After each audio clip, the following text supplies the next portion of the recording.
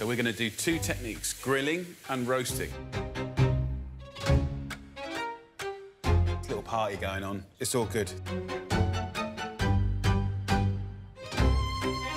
I think there's a real bravery about this dish. It's a real confident dish.